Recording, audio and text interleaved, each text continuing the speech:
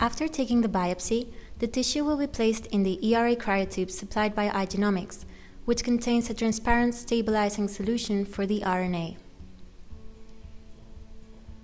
Once the tissue is in the cryotube, it must be shaken for a few seconds to ensure that the tissue is in the stabilizing solution.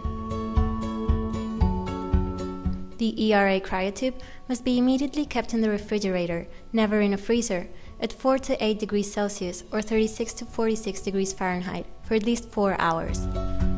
After this period of time, it may be sent at room temperature to a laboratory.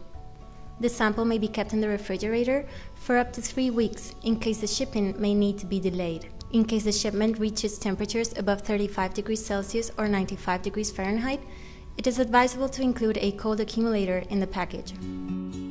Over 10 years of research and a broad range of scientific publications support the ERA test developed by Igenomix.